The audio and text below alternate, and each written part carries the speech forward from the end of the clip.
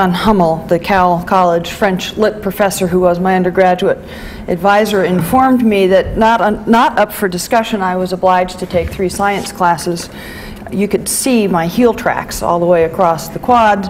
I was indeed going to be a language major. I'd figured out pretty quickly that uh, the goal in life for me was some way that somebody was going to buy me airline tickets and I was going to get to see lots of parts of this planet. And I figured an aptitude for languages pretty good theory, learn a lot of them. That will somehow magically turn into you get to go a lot of places. Sounded good at the time. It's not bad for 14 years old. Um, but then came up to Santa Cruz and took Todd Newberry's marine biology course. Todd used, this was you know, the marine biology equivalent of physics for poets. It was the descriptive course for the dummies from the other side of the campus. Uh, and he taught it, instead of with a formal textbook, he taught it with an adventure tale. He taught it with Sir Alister uh, Clark's Great Waters. And I jumped into that book and found three layers all together. A personal memoir of a young man on a grand adventure in the distant reaches of the Atlantic Ocean and the circum-Pacific uh, Ocean around Antarctica. Scientific memoir of an early cruise in the 1920s.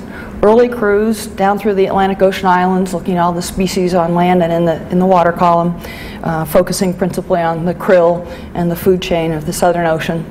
Uh, and a travelogue, and it was just spectacular whiled away the second quarter on some highly forgettable math class, uh, and then discovered another, another oceans course, which was Gary's, again, descriptive entry-level oceanography. Uh, somewhere along the way, in the latter part of that first quarter, sort of realizing these two courses really were really cool. And I wasn't quite sure what it was triggering. I wasn't quite sure certainly what it meant. I certainly had no idea what a life in the marine sciences would involve or was like other than the one I had read about in Todd's class. So uh, having at that point not a lot of smarts but uh, a fair amount of basic dumb directness, I marched up to Gary one day and said, that was interesting, this is interesting. What exactly do you guys do? I mean, what does be an oceanographer mean? Fortunately for me, eh, you know, of all of the professors on the planet in the late 60s when uh, women were, you know, beyond not much welcome in field camps and way beyond not much welcome on ships or in any sort of significant role, uh, or if you took any, it was always precisely controlled number that related directly to the number of bathrooms that you had declared women could use the facilities didn't seem to care what gender of person pulled the chain or pushed the lever, but everybody else seemed to care a lot that you will use this one. And so this was a big deal. Uh, and by rights, a, a dumb, innocent 17 year old freshman girl, arts major, probably would have gotten the back of the hand from countless other professors. But from Gary, I got, oh, we do way cool stuff. What did you like? Oh, let me show you how that works. And we romped for the better part of a day on one weekend uh, through his lab, me mentally going through the different parts of his class and Todd's class and saying, what about this? And just rocketing off into a little examination of how do you know that? What do you do? What are the tools like? How do you get that? How do you build an answer around that kind of a question? Uh, by the end of that Saturday, I was hooked, and the only remaining test was for sophomore year to find out if I could actually be any good at any of this stuff, or I should leave it as a hobby.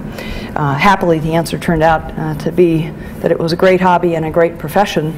Uh, and although some would consider me a fallen away oceanographer, I don't think I fell very far from the from the transom. I thought tonight, other than uh, leading off with a favorite painting by a friend, Jon Lomberg, uh, Jon did do this before he met me. You can tell he didn't get the underwater part right anatomically, but he, he's offered to redo one for me, but it sort of invites conversation about the history of women in these programs, so we've, we've left it alone. Um, my life does have both of these threads uh, still twining through them, not just as a researcher or an administrator, uh, but maybe most of all from the twin fascinations that, that I find in both realms. And they are pretty succinctly uh, the fascination, to me, the mystery of being able to be as at home and comfortable, just as you are here, in either of these two amazing realms where by rights us soft bodied critters have no business being. And unless we're clever and smart with our wits and our technology, we will not survive.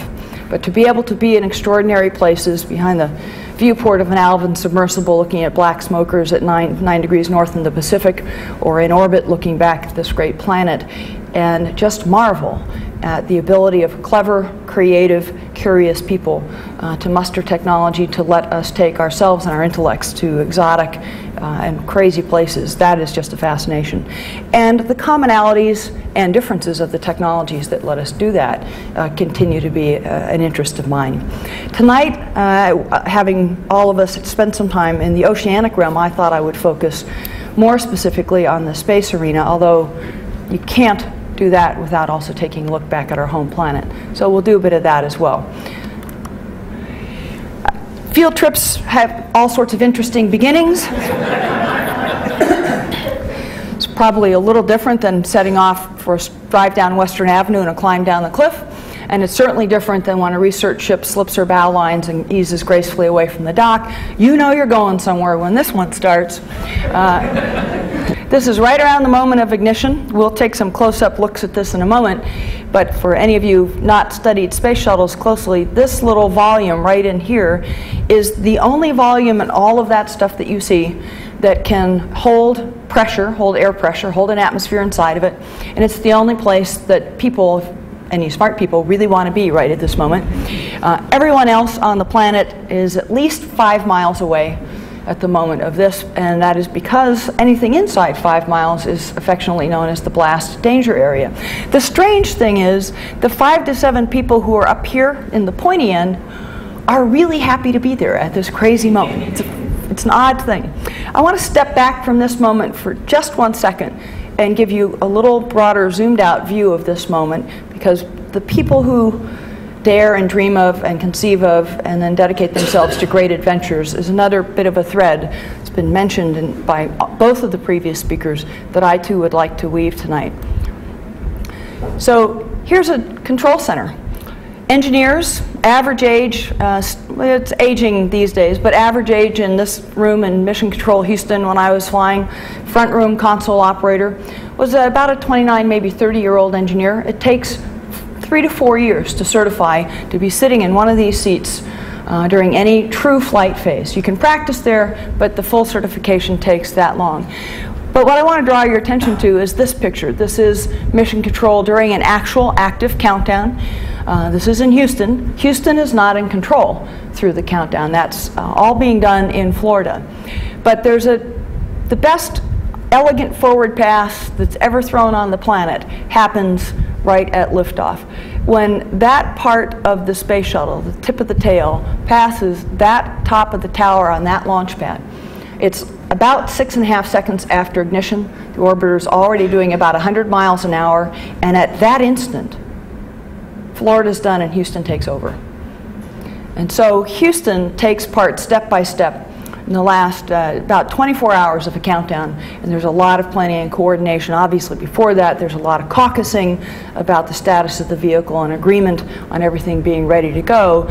But in that instant, those guys take control, and these guys, as you can see here, are reduced to just watching their handiwork leave, and that actually is Discovery uh, with me and four other crew members in the Hubble Space Telescope aboard. We had a launch hold at 31 seconds that almost prevented the vehicle from going, uh, and only very quick detective work uh, on indicators that the vehicle was sending out uh, let us get off the pad that day. Well, back to the pointy end goes forward part of the world. Uh, this is, of course, the uh, powered portion of flight, five, five engines burning in parallel. The short version of the story is 7 million pounds of thrust pushing 4 million pounds of stuff off of the planet, 0 to 2,000 miles an hour in 60 seconds, and then 2,000 to 4,000 in the next 60 seconds, 4 to 6, 6 to 8, and so on, uh, 0 to 17,500 miles an hour in eight and a half minutes. Uh, this works. It's just realized it's California. I can use my favorite description. It's a magnitude 4.5 earthquake with 3 G's acceleration on top of it. That's about what it is. It is shake, rattle, and roll, and and it is tremendously loud, despite the fact that you have the outer skin of the orbiter the inner eggshell that's holding all the air and your own helmet and pressure suit that purportedly have significant sound suppressing qualities, uh, but not that much sound. Uh, it's a very good ride. These guys are very percussive, and it really is, that's the magnitude 4.5 earthquake part. Once the solids drop off about two minutes in, these liquid-fueled main engines burn like the world's uh, best European electric train, and it's a very smooth, very fast ride. That picture is all of about a, a minute and a half after launch. You're already uh, basically entirely through the atmosphere, well above 400,000 feet.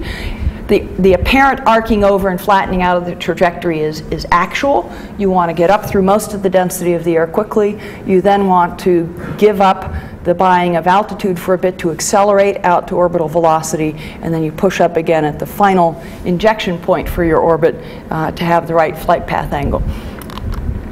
This is the uh, orbiter itself, Endeavour in this case, and uh, Endeavour is rigged here for rendezvous and assembly of a segment of the space station. This is the airlock and the docking adapter. That silver ring right there is what mates mechanically to a matching half on the uh, station itself. And this thing here that looks sort of like a lozenge in the payload bay is one of the major solar array truss segments that was being ferried up on this flight. I'll come back and talk some more about space station and the challenges of assembling uh, such a large structure on orbit, but this gives you a good sense of the orbiter. Again, this is the only habitable volume of the orbiter normally. We'll look inside there in a moment. Uh, the radiator panels here are the key thing that have to be deployed and operating to turn the rocket ship, the up and down vessel into an orbiting laboratory. They're the integral elements of the heat rejection system so that you can get the metabolic heat and the electronics heat out away from the orbiter and into deep space.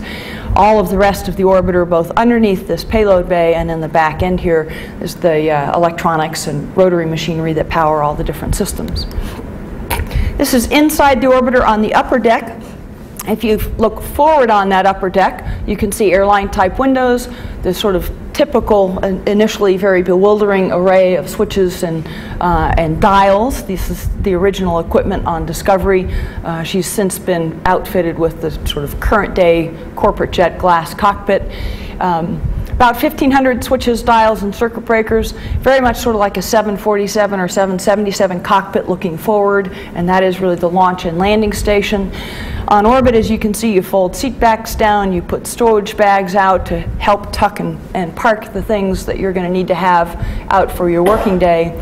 The next picture is taken looking back to the vantage point of this uh, view, and you'll see that in fact the flight deck of the orbiter is a 360 degree cockpit. Uh, these are the circuit breakers and switches you are seeing here. Computers, flight controls, you can fly the orbiter looking backwards or looking up through the ceiling as well as looking forwards. That's only used for rendezvous and docking on orbit. And normally in a position here and just behind me, the hand controllers that run the robot arm uh, TV monitors. Every airplane I've ever sat in in my life, starting with the Cessna 150 when I was about 12, on first blush just looks unfathomable. There's way too much stuff here, it's just a blur, and you can't imagine you're ever really going to digest all of this and know what's going on. By the time you actually fly on the orbiter, you know it like you know the light switches in your own house or the controls on your own stove. It's clear, it's intuitive. Uh, you know it down to the level of how many wires lead from each switch so that if a wire fails, how much more redundancy do you have? And notwithstanding knowing it that well, you never, ever, ever do anything without a checklist and preferably some crew crewmate with their chin parked right on your shoulder doing a double check and confirm. Uh, the guys who train us, train astronauts, are very fond of keeping a big banner in their offices that says, We give our final exams at 17,500 miles an hour on national television, and we would usually go by and write in with no instant replays. So it's. Uh, the other one of the good astronaut mottos is if you ever really if you ever want to do this a second time it would be a really good idea to do it right this time down below is an area that's called the, the mid deck. Uh, not being cute, there actually is another level below that floor. It's just an equipment bay with the fans and pumps and water tankage and things like that. Uh, you know, there's no Maytag repairman here. There's the guys who built the orbiter and assemble it are not here, but neither is the Maytag repairman. So you own it, you operate it, you fix it, you clean it. Uh, you're given a full up working spaceship in spanking clean condition when you leave, uh, and both for health and safety reasons and just the professional pride you pass to other members of the team, you bring back a full up, healthy, working, and clean uh, spacecraft when you're done. The middeck serves every imaginable purpose. You can see here a student experiment, a high school student's experiment that we're operating in this flight. I'm changing film inside an IMAX camera. There's sleeping bags strapped to the starboard bulkhead. There's some various bits of food packages still velcroed around the walls. That's an exercise treadmill underneath me here. Uh, this is Discovery before the airlock, when the airlocks were mounted inside this middeck. So that's the inner back door, if you will. And the airlock, when you're not busy doing spacesuit preparations, just becomes a nice handy stowage volume or sleeping place. So every imaginable function on the middeck, and if you're on a normal, typical sortie space shuttle flight, the two places you've seen are the total living volume of the craft. That's about equivalent to uh, three rows of seats and is about the planform size of that middeck. And if I stood there and put my hands up with a little bit of tiptoes, I could touch the overhead. So you and up to six or seven of your closest personal friends can spend from seven to 21 days in this nice, cozy place. And if you weren't close personal friends before, you will be afterwards. The middeck has galley. This is actually the food rehydration and warming station, and you can see, you know, life without Velcro and duct tape in space would be absolutely impossible. Uh, we'll take a look later at the very cool things that your food can and will do, but sometimes you actually want to stay where you wanted it, and that's where the Velcro comes in um, dinner is one of the interesting things in Zero G. This is my third crew in a tip, half of it, the other half's upstairs working, in a typical dinner arrangement. And one of the fun things is, you know, the, the, fun about no up and down is just really quite delightful. Charlie, uh, Charlie Bolden and I had, by this time, we're each on our third flight, we had adopted a policy that whenever eating in zero G, you should never ever eat in any geometry that faintly resembles seated at a table, simply because you can't. And so you would always find us perched up around the ceiling somewhere. Uh, Brian is a rookie, so he's kind of a little more down in, in the wanting to know how this works. And uh, Dirk is also a rookie and was, I must say, great guy, uh, very, uh, very able physicist and atmospheric physicist from Belgium, uh, but the least comfortable and least adapted human being to zero G I've probably ever seen. This is about day nine of the flight, and he still has to have his feet anchored somewhere, and you could see the muscles straining, and just never quite got the idea that if you will just stop moving, you really will stop moving. And so he, he was always a little bit like a starfish with sort of five point attachment to something solid, which took probably 90% of the fun out of it. Uh, nowadays, of course, there is uh, a destination of sorts, at least, in low Earth orbit. This is the International Space Station, actually, in its current geometry. That truss segment we saw in Endeavour's payload bay was that kind of element right there. Uh, there are three truss segments in the picture here.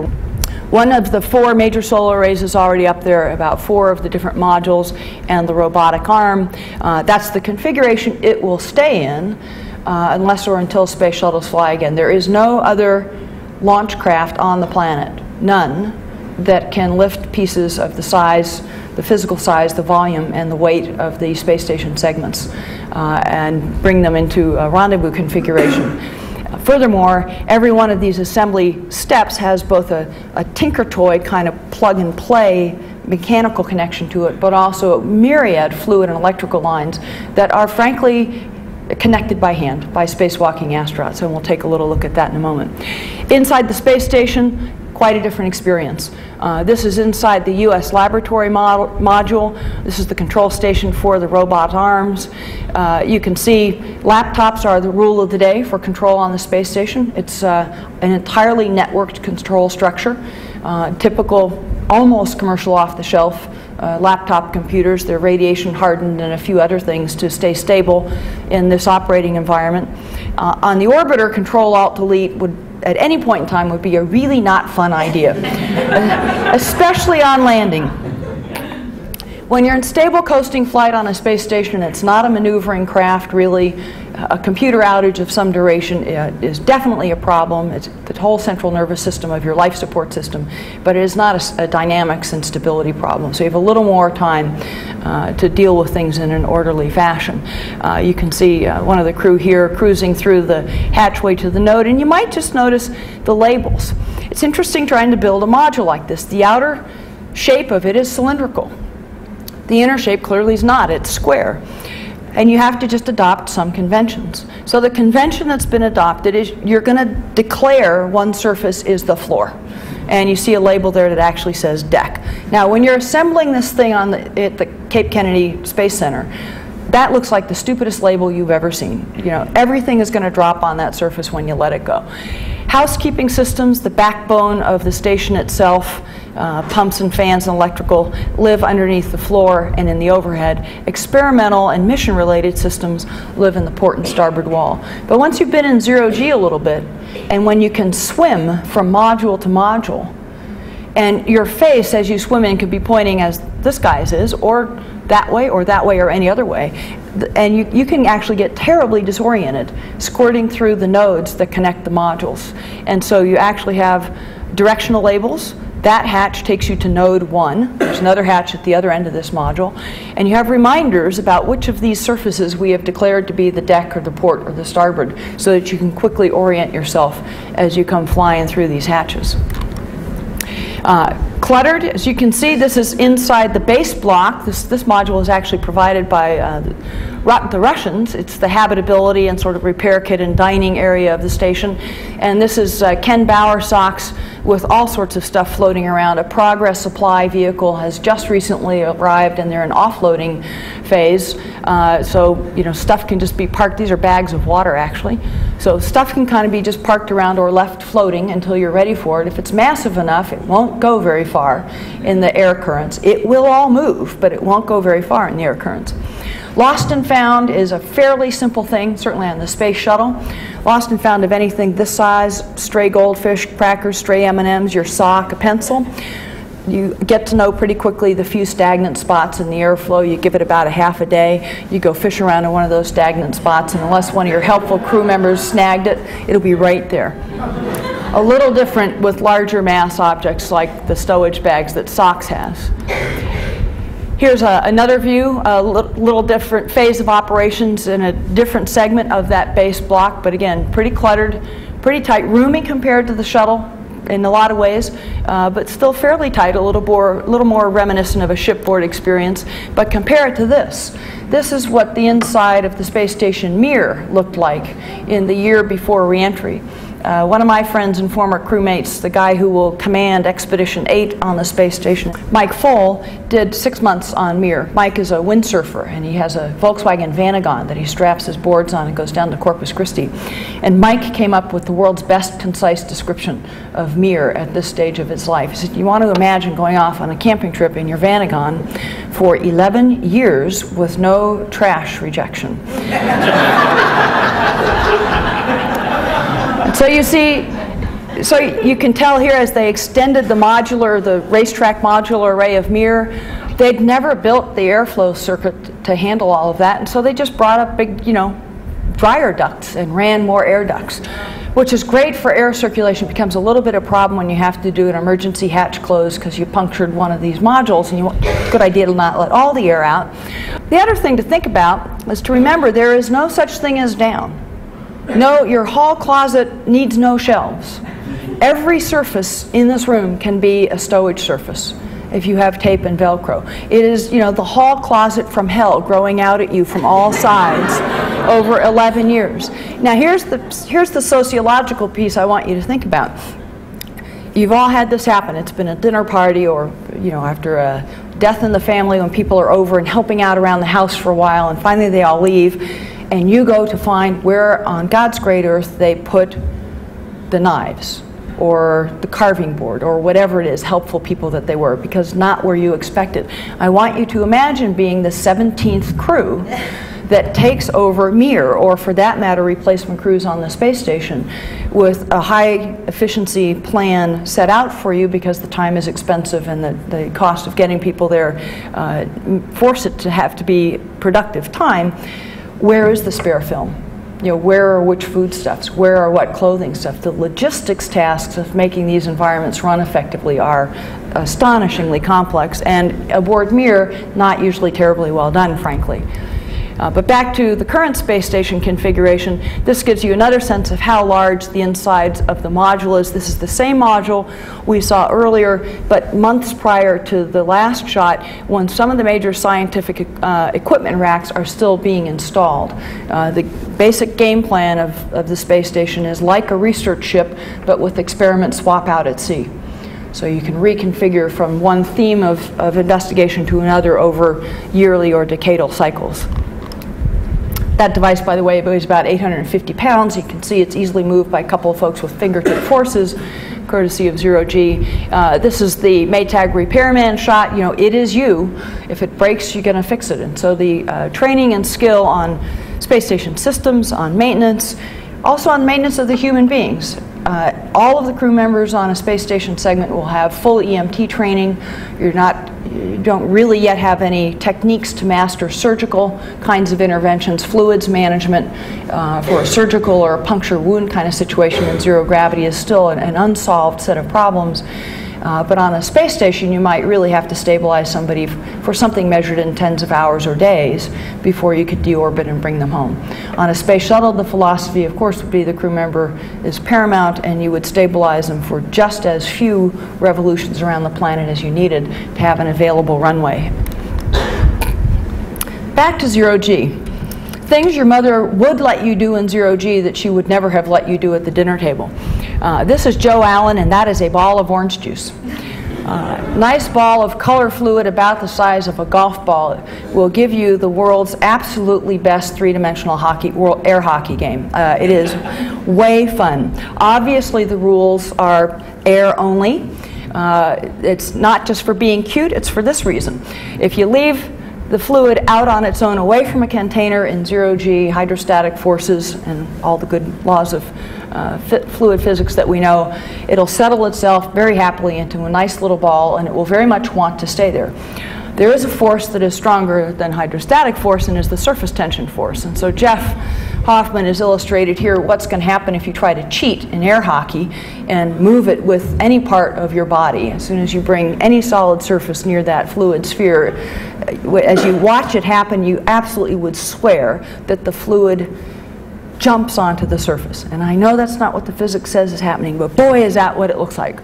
Uh, it just hops on there and clings. So air hockey is great. Um, goldfish crackers, there's by this point nobody on planet Earth that doesn't know goldfish crackers. Pepperidge Farm goldfish will display schooling behavior in this environment. they will. And they will do long distance cross countries because if someone back there wanted one, you just tap on it and just drifts gracefully all the way across the room. And then you can sort of do hockey again. You can eat a goldfish out of the water like a goldfish will eat its food out of it. It's just very fun stuff. I'm sure my mother would have forgiven me. So any duration stay in zero gravity uh, requires a lot of consideration for uh, our own anatomy and physiology. Uh, the fluids that are have a certain equilibrium distribution within our bodies here, either seated or standing in 1G, take on a whole new distribution. In 0G, your heart enlarges, circulation patterns change, a whole range of uh, uh, subtle biochemical endocrinal, endocrinal changes that this geologist is too dumb to tell you too much about. Uh, but a lot of the internal sensors that control the chemical and fluid balances of our body are affected and altered to a different equilibrium as the fluids uh, shift north in your body. The other thing is the subtle musculature of our, mainly our thighs and our lower abdomen that keep the right proportion of blood between our heart and our head as we sit and stand here in 1G, they relax. In fact, the best way to simulate that sort of uh, phenomena of zero gravity is extended bed rest. You just let that muscle tone atrophy a little bit. And as you probably know from times you've been in bed ill for a while, the first time you stand suddenly back up in gravity, you'll feel a bit woozy as the fluids race for your feet.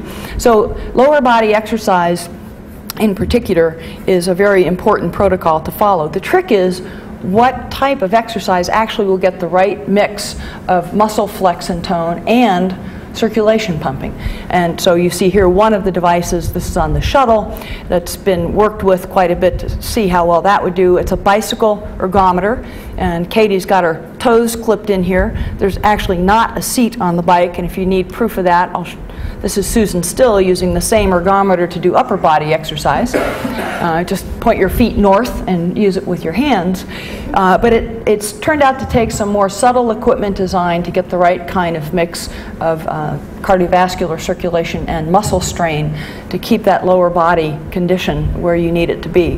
The Soviets over the years tried things like basically too short, pant, too short of a pair of pants on a suit with elastic bands down the inseam and outer seam so that to hold the neutral posture your body wants to be in in zero G, you actually exert a little bit of work against that suit to see if that sort of isometric could help maintain a tone in the leg.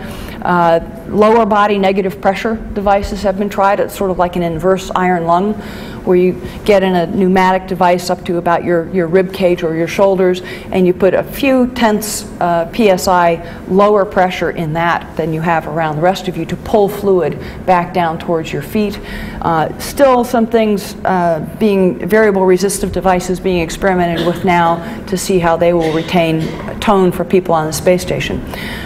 What happens when you come home after six months? Well, you know, it varies. It varies by individual condition and physiology, and it, and it varies by the protocol you did or didn't follow on orbit. In the early days of the Soviets putting people in zero G for six to 12 or 13 months, they would sometimes have to lift guys out of the capsule when they landed on the steps.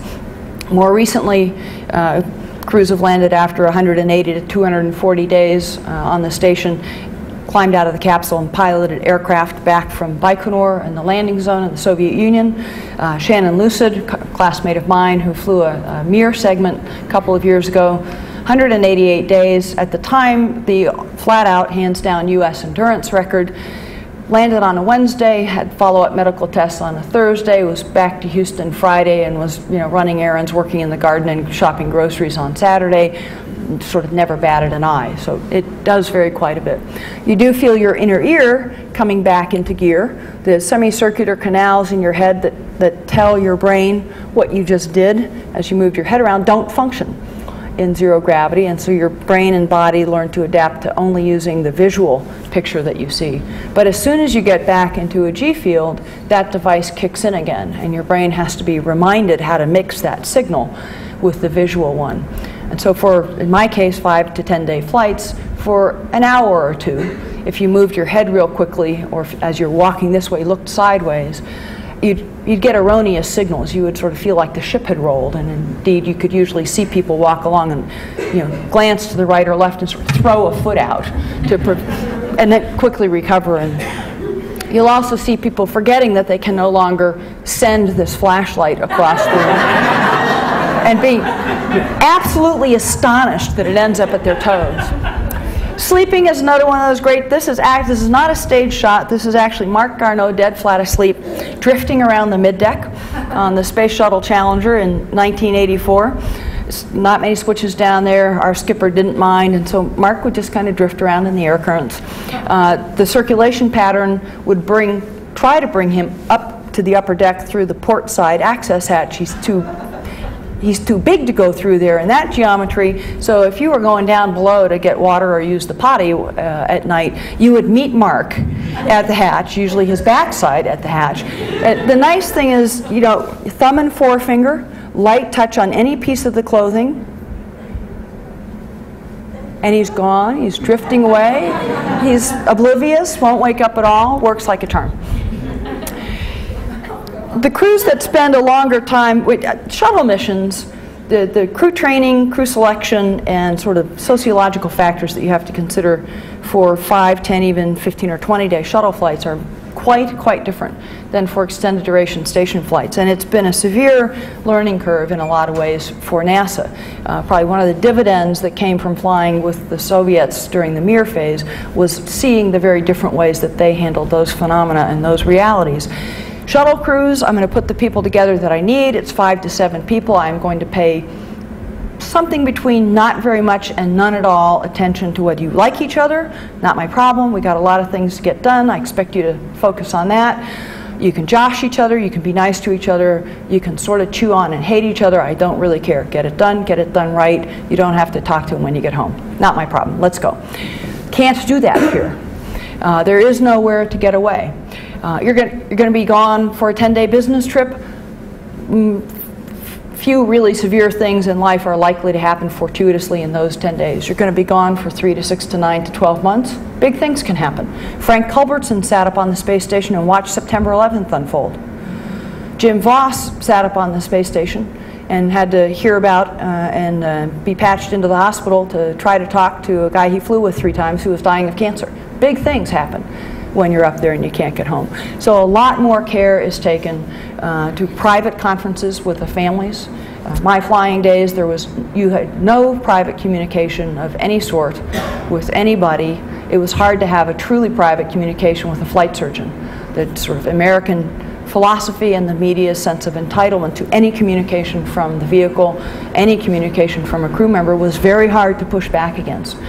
For space station crews, that's improved a lot. There's direct email to and from their families through a, a certain uh, private gateway, not a controlled gateway. Carl Walz, as you can see, has got his keyboard. He's a great piano player. He is the astronaut office official Elvis impersonator. Uh, he does it quite well.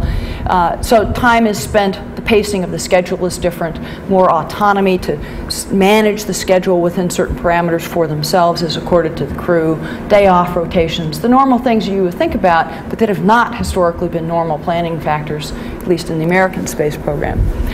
This thing is big, the piece that you saw in that uh, approach picture is the center segment and these first two segments of the truss and a little bit of this core of modules and one of these solar arrays that is for the time being mounted up here instead of at its normal location. So about that much of the space station is what's up there right now. This is its intended full size. 108 meters across, 80 meters um, um, that away in length, fore and aft, 456,000 kilograms of mass to orbit. And it is big scale stuff. You know, there's a six foot crew member on the end of the space shuttle's manipulator arm uh, in part of the task of installing this the manipulator arm that lives on the space station. You can see the size of one of the solar array segments here nearby for comparison.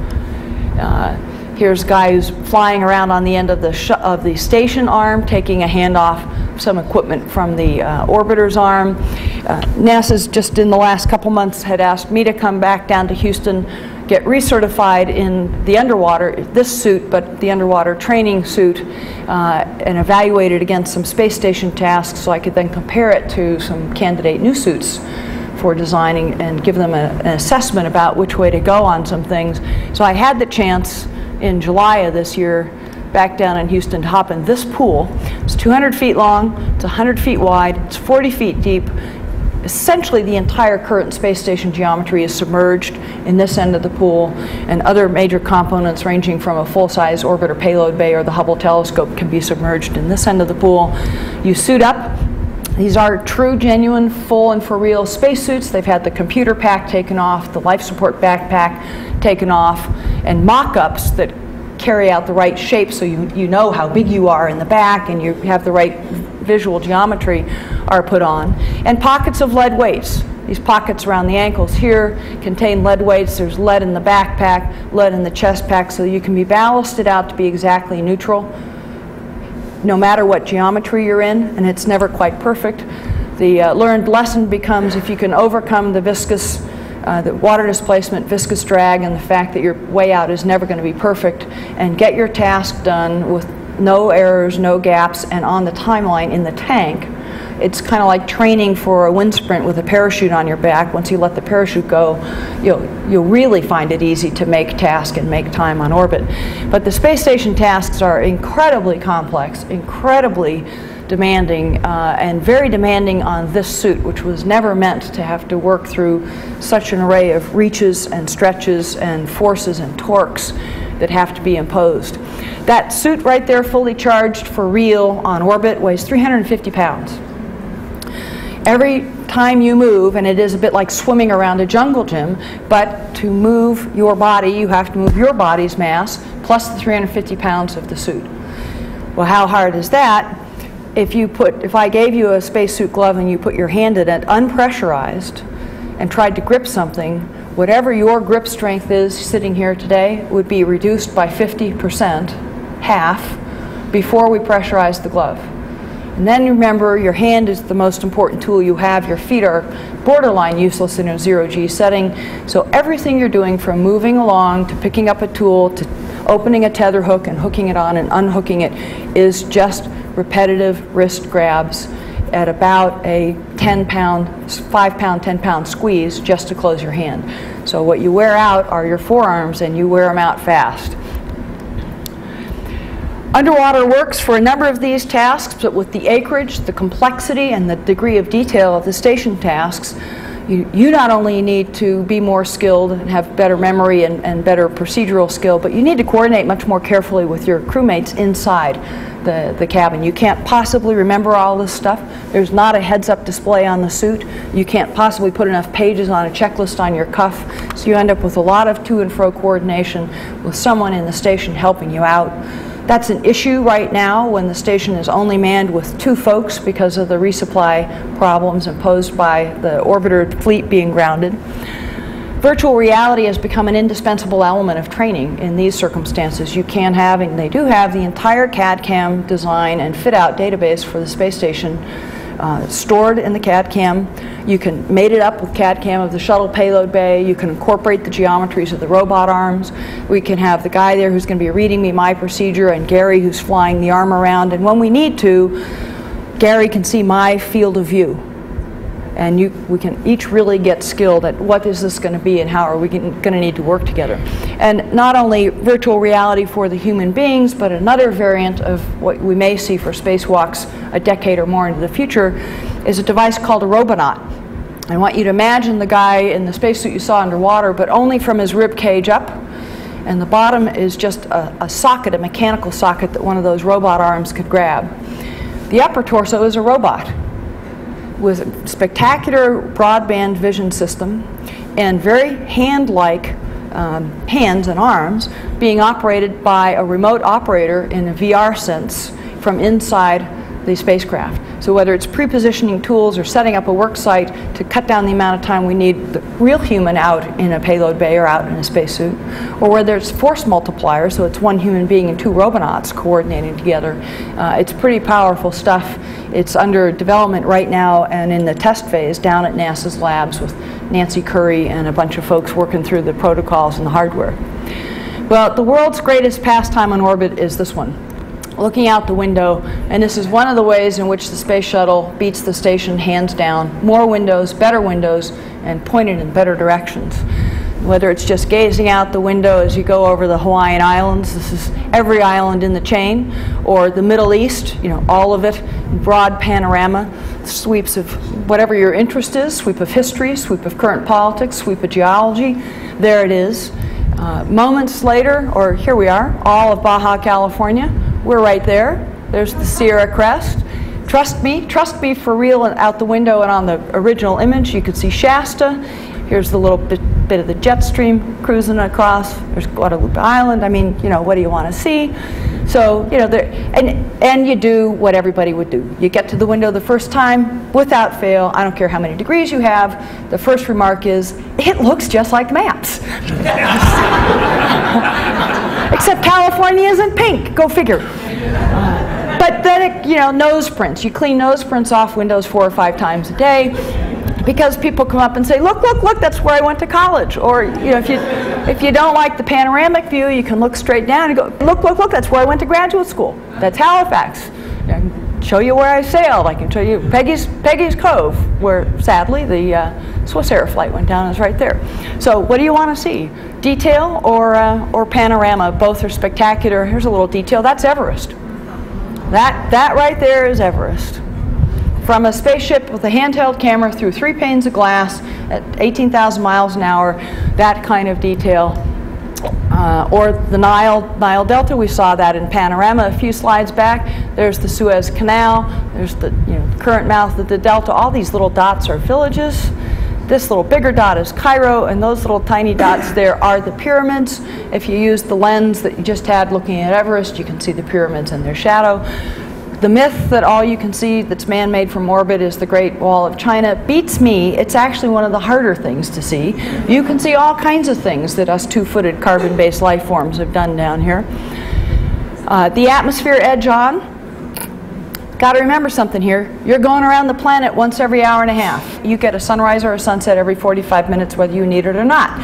And at every one of those, you get a great opportunity to look at the limb of the Earth with the sun. You're, you're like the satellite that's occulting the sun. You're going around so fast, the sun's going to set for you. And so you can see the prismatic effects of the layers of the atmosphere. You don't normally see this picture. This is very unique. This is, uh, you will typically see this horizon, that's the top of the troposphere, the tropopause.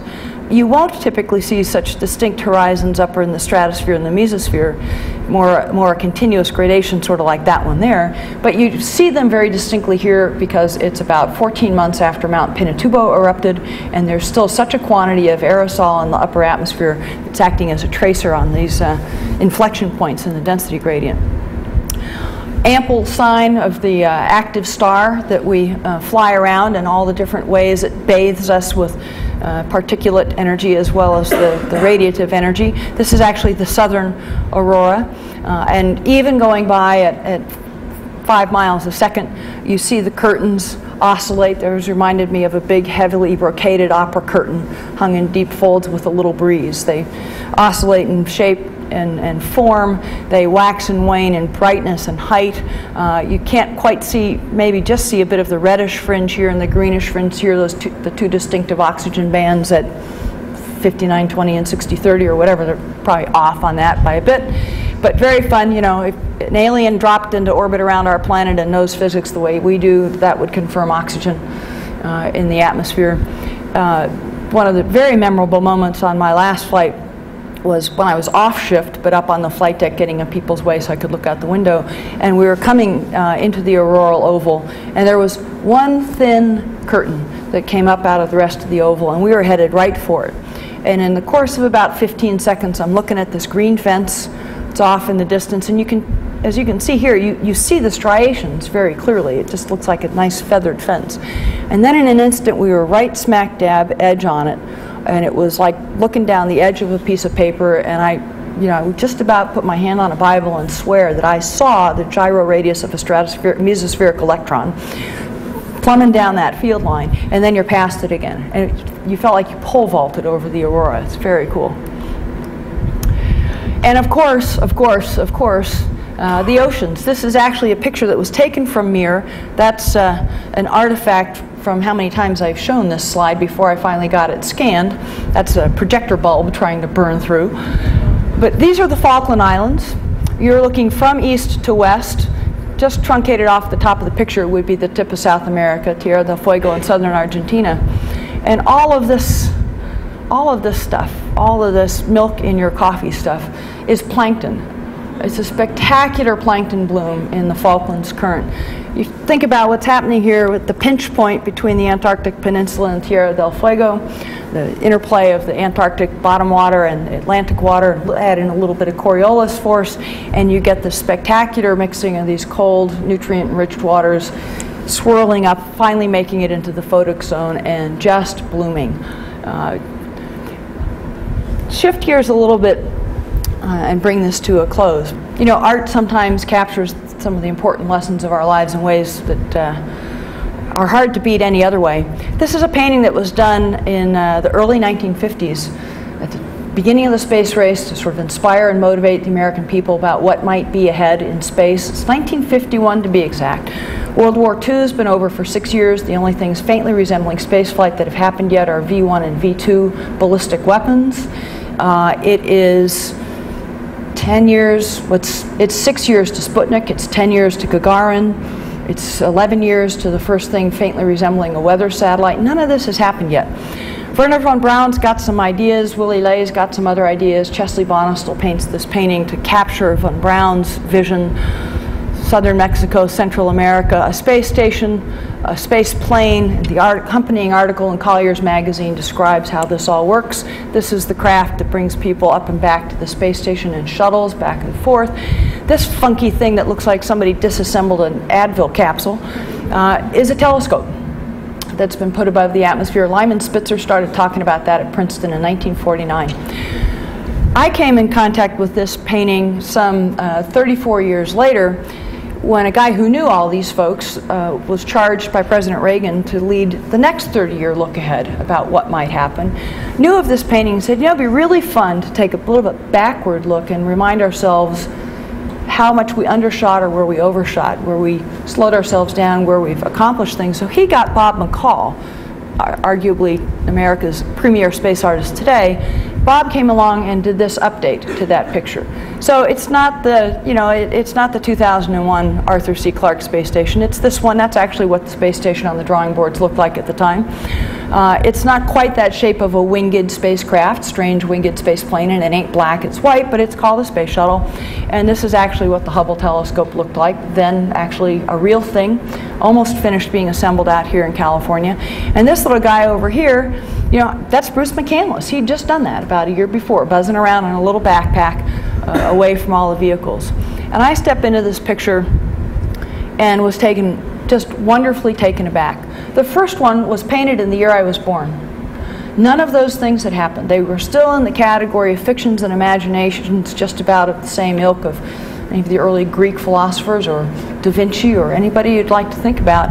And in 33 years, which is not much of an American lifespan, and from 26 to 33 ain't much of a, of a segment of a professional lifespan, you know, me and a few thousand other folks that just kind of thought it'd be funky and cool and a dare and a challenge and bring lessons and insights about ourselves and our planet that were worth having as a, as a species and as a country, uh, we had made all this stuff happen for not in X years, but for the first time ever in the history of all of humanity, these things were happening. Simply because people of curiosity and dedication and passion decided to take it on and tried to make it so, and found the conviction to persevere and carry on and carry on and carry on. The, the tenacity is 90% of the game in any of these grand quests.